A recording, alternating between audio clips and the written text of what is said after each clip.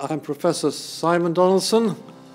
Uh, I've been um, professor at Imperial College for uh, 20 years. I work in the area of mathematics. Differential geometry would be the best description.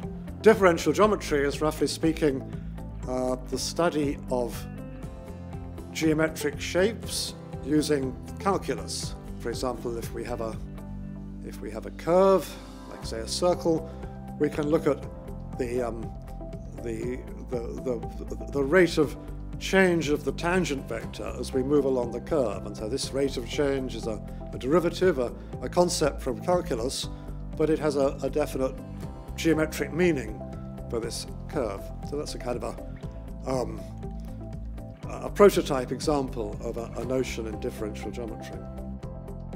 Mathematics is a fundamental thing that humanity needs. It underpins a lot of our modern technology, both modern and, and older technology, and it offers prospects of giving good ways of solving uh, crucial problems which are faced by humanity, or at least contributing to the solutions of those problems.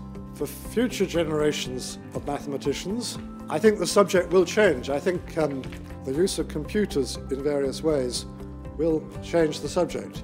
People 50 years ago might have been surprised that a computer could beat any human in chess, so it could well be that in 50 years' time there will be computers which can produce proofs which possibly go beyond what human mathematicians can do.